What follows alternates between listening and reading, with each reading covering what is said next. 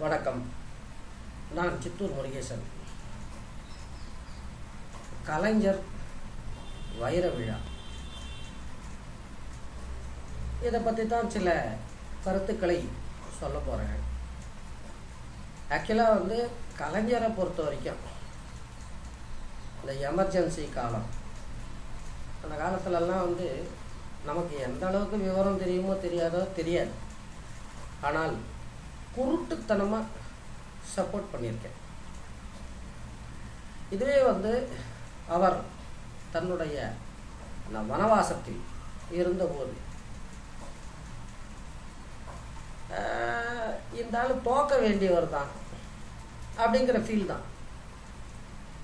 மற்றபடி அந்த கலைஞர் என்ற அந்த பிம்பம் அதனுடைய ஆழமோ அகலமோ ஒரு கருமும் தெரியாது.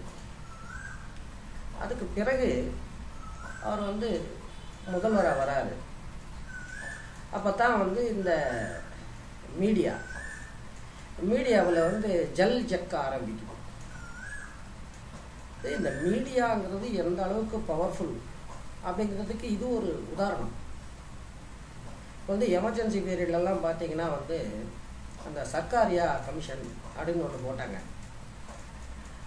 அதுக்கு ஒரு ஜட்ஜி அந்த ஜட்ஜி சைக்கிளில் தான் வருவார் கோர்ட்டுக்கு அப்படின்னு ஒரு ஃபோட்டோவை போட்டு ஒரு கவர் ஸ்டோரி குமுதத்துலேருந்து ஞாபகம். அதே போல் இந்த கலைஞர் அந்த பதிமூணு வருஷத்துக்கு அப்புறம் மறுபடி முதல்வராக வந்த பிறகு இவனுங்க ஜால்ரா போட ஆரம்பிக்கிறானுங்க. அந்த மீடியா கவரேஜுங்கிறது வந்து கொஞ்சம் கொஞ்சமாக எல்லாரையும் போல என்னுடைய மனதையும் மாற்றி இருக்க வேண்டும். சரி அப்படி போயிட்டு இருக்கேன் இது ஒரு பக்கம். அந்த ஜெயலலிதா கைது. அம்மா அவங்களுடைய செல்லில் வந்து போனி பையில் பெருச்சாலையை கொண்டு போய் விட்டாங்க. இந்த மாதிரி டுமிலெல்லாம் கூட பார்த்துருக்கோம். கலைஞருடைய அந்த அருமை. எனக்கு எப்போ உரைச்சது அப்படின்னா இந்த செம்பரம்பாக்கம் வெள்ளம். அதுக்கு பிறகுதான் என்னுடைய மனம் மாறத் துவங்கியது. இந்த ஐம்பது வயசுக்கெல்லாம் வந்து உணர்ச்சி வசப்பட்டு மனசை மாற்றிக்கிற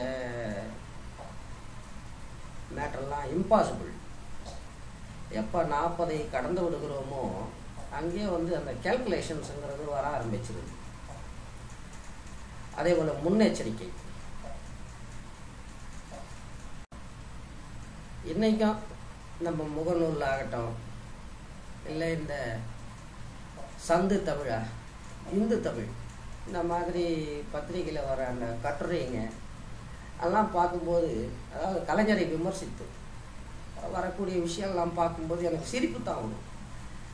ஏன்னா நான் கலைஞரை விமர்சித்து கொண்டிருந்த காலகட்டத்தில் நீங்கள் வந்து நம்ம பழைய பிளாகில் கூட பார்க்கலாம். ரொம்ப க்ரியேட்டிவாக பாயிண்ட் பை பாயிண்ட்டு நான் வந்து க்ரிட்டிசைஸ் பண்ணியிருக்கேன். ஆனால் இந்த கலைஞரை விமர்சிப்பவர்கள் இவங்கெல்லாம் வந்து எனக்கு தெரிஞ்சு அதாவது இன்னைக்கு எனக்கு இருக்கக்கூடிய இந்த தெளிவு மெச்சூரிட்டி இதெல்லாம் வச்சு பார்க்கும்போது இவனுங்களுக்கெல்லாம் வந்து அந்த ஒரு வரலாற்று உணர்வே இல்லை அப்படின்ற முடிவுக்கு தான் நான் வர வேண்டியிருக்கு. இப்போ நான்லாம் வந்து ஸ்டேட்டே வேற. மக்கள் அந்த தமிழ்நாட்டு வாக்காளர் பட்டியலில் கூட நம்ம பேர் கிடையாது. கலைஞரை ஆதரிக்கிறதுனாலையோ இல்லை அவரை புகழ்ந்து பேசுறதுனாலையோ பத்து காசு உபயோகம் கிடையாது. ஆனால் இந்த கலைஞர் அந்த ஒரு பிம்பம் அதை பற்றிய ஒரு பதிவு இதை வந்து என்னுடைய வரலாற்று கடமையாக கருதுகிறேன். ஏன்னா கொண்டாடணும். ஒரு ஆளுமை ஒரு திறமை அதை அதன் வாழும் காலத்திலேயே கொண்டாடணும். அப்போ தான் வந்து அடுத்து இன்னொரு பத்து ஆளுமைகள் அடுத்தடுத்த தலைமுறைகளில் தோன்றுவார்கள். இப்போ இந்த நான் கூட சொன்னேன் இந்த கலைஞர் இந்த வனவாசம்.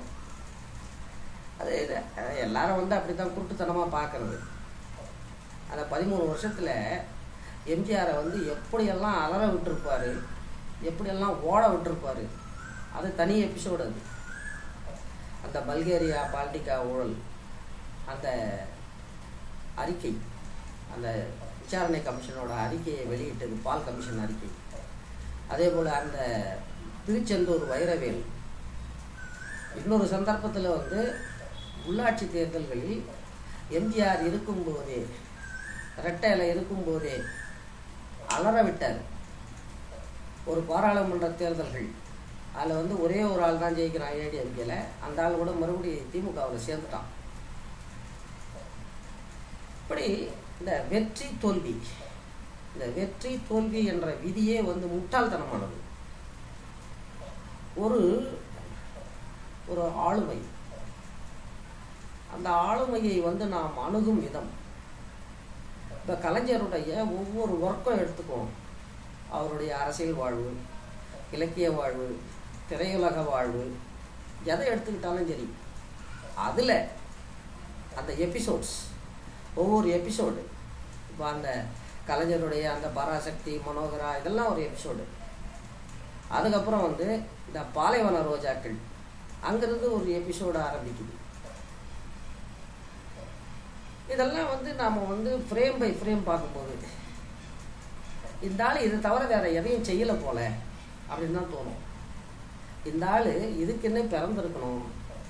இந்த ஆள் இந்த ஒரு காரியத்தை தவிர வேற எதுக்கும் வக்கு இல்லாதவன் அப்படின்னு தான் தோணும். ஏன்னா கலைஞர் வந்து தன்னுடைய அந்த எக்ஸலன்சி அந்த ப்ரொஃபஷனல் எக்ஸலன்சியை கொடுத்துருப்பார். இப்போ வந்து இந்த மணிரத்னம். மணிரத்னத்தை பற்றியெல்லாம் வந்து ரொம்ப பீத்திக்கிறாங்க. அந்த மனோகரால் பாருங்க மனோகரன் கேட்பான் அம்மா இப்போதுமா பொறுமை? அப்போ உடனே வந்து அந்த தாய் கேரக்டர் சொல்லு இப்போது தானடா மகனே பொறுமை. இந்த பாலைவன ரோஜாக்களில் ஒரு வசனம் வரும். ரெண்டு பேரும் பத்திரிக்கைக்காரங்கன்னு நினைக்கிறேன். இந்த வில்லன் வந்து ஏதோ ஐச்சாட்டியம் பண்ணிட்டு போவான். அப்போ வந்து ஒரு வசனம் வரும். அநியாயம் காலரை தூக்கி விட்டுக்கிட்டு போகுது. நியாயம் காலர் இல்லாத ஜுப்பாவோட நிற்குது இதுதான் கலைஞர். அதே போல் அவருடைய அந்த அது என்ன சொல்கிறது அந்த டைமிங் சென்ஸ் ஸ்பான்டேனியஸாக முடிவெடுக்கிறது. இந்த வள்ளுவருடைய ஓவியத்தை ரெடி பண்ணுறாங்க ரெடி பண்ணும்போது அந்த தமிழ்நாட்டில் இருக்கக்கூடிய அந்த பிராமணியம் அந்த கர்மாந்திரம்லாம் அவங்களுக்கு நல்லா தெரியும். அங்கே ஏதோ பக்கி வந்து கோத்து விடுறாப்புல இருக்குது நூலை போடணும்னு. இப்போ அது ஒரு பெரிய விவாதமாகுது. நூல் இருக்கணுமா இருக்கக்கூடாதா? அப்போ கலைஞர் வந்து அந்த ஓவியரை கூப்பிட்டு சொல்கிறார் ஒரு துண்டை போடியார் அந்த திருவள்ளுவரை தான் பார்த்துக்கிட்டு இருக்கோம். That is Kalaignar. இந்த ஆளுமைகள் இந்த நீண்ட ஆயுளை படைத்திருக்கும் கொண்டிருக்கும் ஆளுமைகள் வந்து அங்கங்கே மொக்கா அவருக்கு சகஜம். இப்போ இந்த புஸ்வானம் சொல்கிறீங்க பாருங்க. அந்த மாதிரி தான் மனிதனுடைய வாழ்க்கை. அது மேலே அந்த மொதல் ஸ்பார்க்கு விழுற வரைக்கும் அது வந்து ஏதோ ஒரு மண் மண் தொட்டி மாதிரி தான் இருக்கும். அது மேலே ஸ்பார்க் விழும்போது அது அப்படியே சுடர் விட்டு பிரகாசிக்கும். அந்த பிரதேசமே ஜாஜ்வல்யம் ஆயிரும் அதுக்கப்புறம் மசாலா தீர்ந்த பிறகு பெருக்கி குப்பையில் கொட்டுருவாங்க. ஆனால் கலைஞர் வந்து அப்படி கிடையாது. ஐப்போச்சு க்ளோஸ் மேட்ரு ஓவர் அப்படின்னு எல்லாம் பட்டாசு வெடிச்சுக்கிட்டு இருப்பான். அந்த நேரம் பார்த்து கிழவன் ஒரு புதிய அவதாரம் எடுப்பான். அதெல்லாம் வந்து இப்போ இன்னைக்கு நாம் கண்கூடாக பார்த்துக்கிட்டு இருக்கோம். இதே வந்து ஒரு நூறு வருஷத்துக்கு அப்புறம் இந்த மாதிரி ஒரு ஆள் இந்திய அரசியலில் இருந்தார் அப்படின்னு சொன்னால் அந்த தலைமுறை என்ன சொல்லுங்க தெரியுமா? ஊத்துறாயன் பீலா விடுறாயா ஆம்பாங்க அந்த மாதிரி தான் நான் வந்து கலைஞர் மீது காட்டமான விமர்சனங்கள். இவனுங்களை மாதிரி ஜாதி வெறியிலையோ பைல்ஸ் இருக்கும். இந்த கலைஞரை விமர்சிக்கிற பக்கிங்களுக்கு நிறைய பேருக்கு பைல்ஸ் இருக்கும்னு நினைக்கிறேன். பைல்ஸு பிபி இதெல்லாம் இருக்கும்னு நினைக்கிறேன். அவனவங்களுடைய விமர்சனத்தில் வந்து சரக்கே இருக்காது. இப்போ உதாரணத்துக்கு ஒன்று சொல்கிறேன் சர்க்காரியா கமிஷனே சொல்லிருச்சு. ஆதாரமே இல்லாமல் விஞ்ஞானபூர்வமாக ஊழல் பண்ணியிருக்காங்க அப்படின்னு சர்க்காரியா கமிஷனே சொல்லிருச்சுமா அட ஒய்யா ஆதாரம் இல்லைன்னா இல்லைன்னு சொல்லிட்டு போ. இல்லை ஆதாரம் இருக்குன்னா தண்டி. அது ஒன்று அடுத்தது வந்து இந்த ஊழல் குற்றச்சாட்டு. இதை வந்து அள்ளி வீசுவாங்க அப்படியே இப்போ இந்த டூ ஜியில் கூட பார்த்தோம் லேட்டஸ்ட்டாக இதே அது என்ன கர்மம் எல்லாம் வந்து நம்ம ராஜா வந்து ஒரு பேட்டியில் அப்படியே அழகாக வாழைப்பழத்தை உரிச்ச மாதிரி உரிச்சு காட்டிட்டாரு. இன்றைக்கி வந்து சின்ன பிச்சுக்கிட்டு கிடக்கான் எல்லாரும். அந்த சிறப்பு நீதிமன்ற நீதிபதியே கேட்குறாரு எப்போதாயா முடிப்பீங்கன்னு? ஒரு லட்சத்தி எழுபத்தாறாயிரம் கோடியிலேருந்து அது இப்போ எந்த ஒரு நூறுரூவாய்க்கு வந்தாங்களா இரநூறுவாய்க்கு வந்தாங்களா தெரியல. இதெல்லாம் வந்து ஒரு சரித்திர புருஷனுக்கு இழைக்கப்படும் துரோகம். இப்போ காந்தியை வந்து கோட்டை விட்டோம். அதனுடைய பலன் என்னாச்சு? சோனியா காந்தி தான் கிடைச்சது. அதான் வரலாறு. மனுஷங்களுடைய சைக்காலஜி என்ன? எதையுமே வந்து இழந்த பிறகு தான் அதனுடைய பெருமையை தெரியும். நான் அந்த பட்டியலில் சேர்ந்து விடக்கூடாது அப்படின்ற ஒரு முன்னெச்சரிக்கை. அதுவும் வந்து இந்த என்டிஆர். என்டிஆரை பற்றி அவருடைய மரணத்துக்கு பிறகு அவருடைய முதுகில் குத்தனமாகட்டும் அவரோட நின்னமாகட்டும் இவனுடைய பேட்டியெல்லாம் வந்து ஒரு சந்தர்ப்பத்தில் பார்க்க முடிஞ்சது இந்த யூடியூப்பில் அவன் ரத்த கண்ணீர் வடிக்கிறான். ஐயோ நான் தப்பு பண்ணிட்டேன். ஐயோ நான் இந்த பாவத்தை எங்கே போய் தொலைப்பேங்கிற அளவுக்கு கில்ட்டி ஆஹா அந்த நிலைமை நமக்கு வரப்படாது. அப்படிங்கிறதுக்காக தான் நான் வந்து கலைஞர் ஆதரவு நிலையை எடுத்தேன். இப்போ இன்னைக்கு இன்னைக்கு வந்து இன்ஃபர்மேஷன் டெக்னாலஜி எங்கேயோ போயிருக்கு. சோஷியல் மீடியா இந்த மெயின் ஸ்ட்ரீம் மீடியா என்னத்தான் சல்லா துணி கட்டி மறைச்சாலும் அதை வெளிச்சம் போடுறதுக்கு இந்த சோஷியல் மீடியா இருக்கு. எமர்ஜென்சி காலத்தில் என்ன வெங்காயம் இருந்தது? இந்த இப்போ மாவட்டத்தில் வந்து இந்த பப்ளிக் ரிலேஷன் டிபார்ட்மெண்ட்டில் ஒரு அதிகாரி இருப்பார். அவர் வந்து ப்ரூஃபை பார்த்து ஓகே பண்ணணும். ஓகே பண்ணால் தான் பேப்பரில் பிரிண்ட் ஆகும். அந்த மாதிரி நிலைமை. கோயபிள்ஸ் பிரச்சாரம்னு சொல்கிறாங்க அதெல்லாம் ஜுஜிபி அந்த எமர்ஜென்சி கால பிரச்சாரத்தோடு ஒப்பிடும்போது அங்கேயும் நின்று காட்டினார் கலைஞர். அதே போல் இந்த UPA UPA one UPA two அதில் பார்த்தோம்னா இந்த யூபிஏ ஒன்றில் வந்து கலைஞருடைய தயாதாட்சத்தின் மேல் ஆதாரப்பட்டு ஆட்சி நடத்த வேண்டிய கட்டாயம். அப்போ வந்து அந்த சோனியா அம்மையாருடைய சுயரூபம் வெளிப்படலை. எப்போ வந்து அந்த யூபிஏ டூக்கு மெஜாரிட்டி கிடைச்சதோ அங்கேருந்து பழைய கூடி கதவை திரடின்னு ஆரம்பிச்சிட்டாங்க. இங்கே மெஜாரிட்டி கிடையாது. காங்கிரசனுடைய ஆதரவில் ஆட்சியை நடத்திக்கிட்டு இருப்போம் அங்கே வந்து நம்முடைய ஆதரவு தேவையில்லை. என்ன மாதிரி ஒரு தர்ம சங்கடமான சூழ்நிலை பாருங்க. இப்போ இந்த தமிழ்நாட்டு மக்கள் இந்த த வாக்காளர்கள் இவங்களுடைய சைக்காலஜி என்னடான்னா இந்த ஆகாத மருமக கால்பட்டா குத்தம் கைப்பட்டா குத்தம்னு சொல்லுவாங்க. அந்த மாதிரி தான் கலைஞருடைய நிலைமை. இப்போ எமர்ஜென்சி எதிர்க்கிறாரு. மாநில சுயாட்சிக்காக குரல் கொடுக்குறாரு. அடுத்த தேர்தலில் என்ன ஆகுது? அட்டை கத்தி வீரர் பம்பர் மெஜாரிட்டியோடு வந்து உட்கார்றாரு. நேரம் பாருங்க. இங்கே ஒரு மனிதன் நல்லதை செய்ய நினைக்கிறதே கஷ்டம். அதை பொதுமக்கள் ஆதரிக்கிறது அதை விட கஷ்டம். அப்பவும் ஏதோ வேலை செய்துக்கிட்டு போகலாம் ஏதோ ஓய்ஞ்சு போகட்டும்னு. ஆனால் கலைஞருடைய நிலை என்னடான்னா அவர் எப்பெல்லாம் நல்லதை செய்தாரோ அப்பெல்லாம் வந்து மக்கள் ஆப்பு தான் அடிப்பாங்க. இப்போ இந்த ஈழம் ஈழ பிரச்சனை. இங்கே பயங்கரமாக அந்த சிஜி எல்லாம் பண்ணி செவன்டி எம் ஸ்க்ரீனில் சினிமா காட்டினானுங்க. நான் அப்போ தான் வந்தார். ஒரு முரண் இதெல்லாம் வந்து வரலாற்று முரண். இதுவே வந்து மெஜாரிட்டி கிடைக்காம இந்த கா காங்கிரஸ்காரனங்களோட ஆதரவோட மைனாரிட்டி சர்க்கார் நடத்திக்கிட்டு இருக்காரு. பஸ் கட்டணம் வசத்தில் பால் விலை வசத்தில் மின் கட்டணம் வசத்தில் பம்மி பம்மி ஆட்சி பண்ணுறாரு காங்கிரஸ்காரன் ஒரு பக்கம் நோண்டி விடுறான் எங்களுக்கு ஆட்சியில் பங்கு வேணுங்கிறான் இந்த அம்மா இப்போ மெரினாவில் ரெஸ்ட் எடுத்துக்கிட்டு இருக்கு அந்த அம்மா மூச்சுக்கு முப்பத்தாறு தடவை மைனாரிட்டி சர்க்கார் மைனாரிட்டி சர்க்கார்னு குறிப்பேற்றிக்கிட்டு கிடக்கு அப்போ கூட கலைஞர் வந்து பொறுமையாக பம்மி பம்மி ஆட்சி பண்ணார் எதுக்கு எந்த வெங்காயத்துக்கு சரி இந்த ஒரு ஆட்சியை பார்த்தாவது அடுத்த தேர்தலில் மெஜாரிட்டி கொடுப்பாங்கன்னு. ஆனால் நடந்தது என்ன? அதான் கலைஞருடைய ஜாதக ராசி. கலைஞர் வந்து யாரெல்லாம் சேவ் பண்ணுறாரோ எல்லா பக்கியும் கலைஞருக்கு ஆப்படிச்சிட்டு போகும்.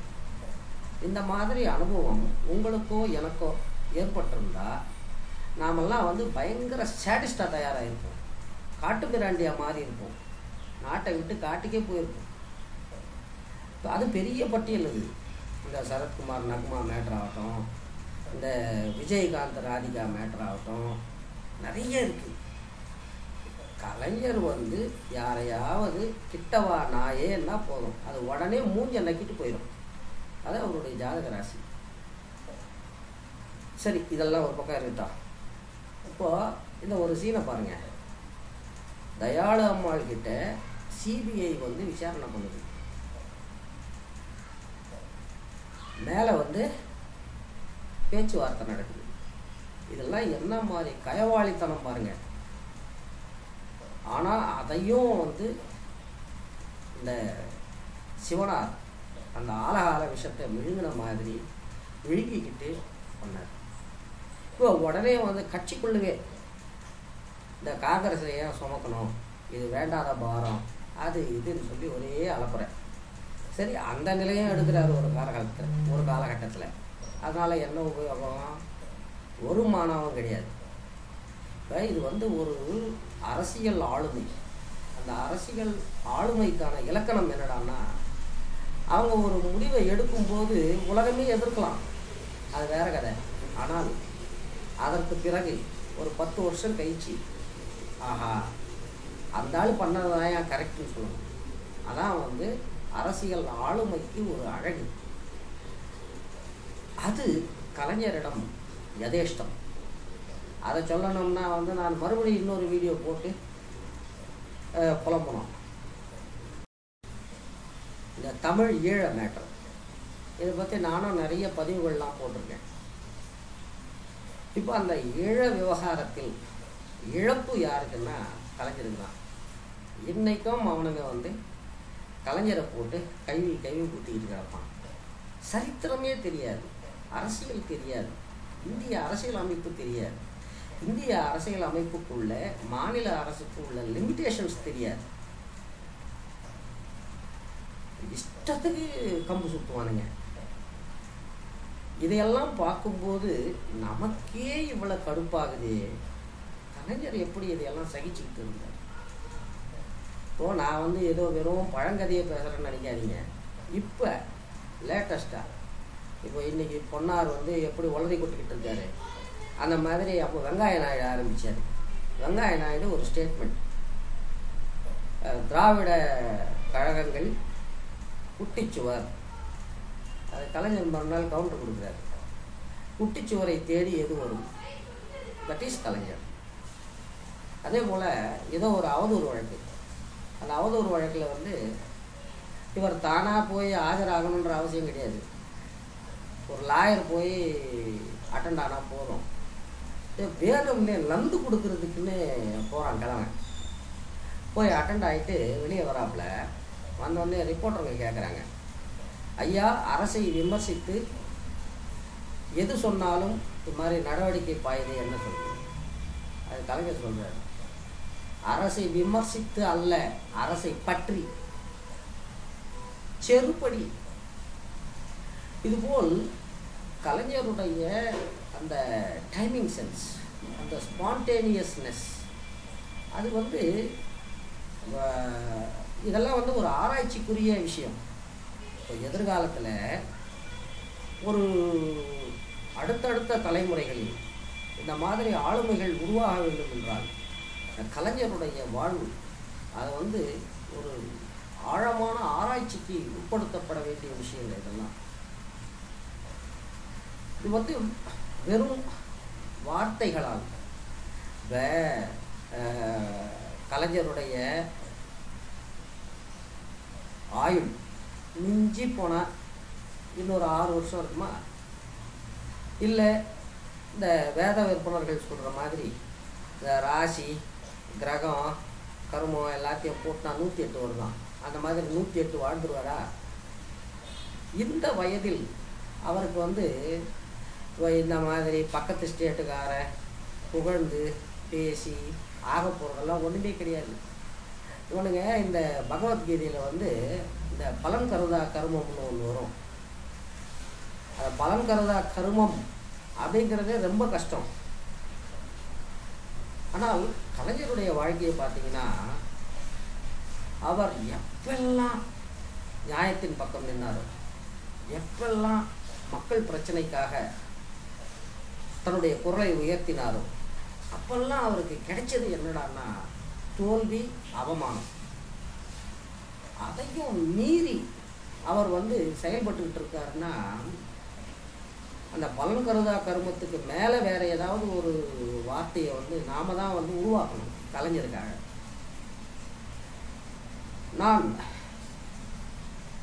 அவரை வாட்ச் பண்ணது வரைக்கும் அதாவது அவருடைய அந்த நீண்ட நெடிய வாழ்க்கை அந்த அரசியல் வாழ்க்கை அவர் வந்து அந்த பிரச்சனைகளை வந்து டேக்கிள் பண்ண ஸ்டைல் அதெல்லாம் பார்த்துக்கிட்டு வரும்போது எனக்கு அவர் அவர்பால் ஒரு விதமான அதை என்ன சொல்றது?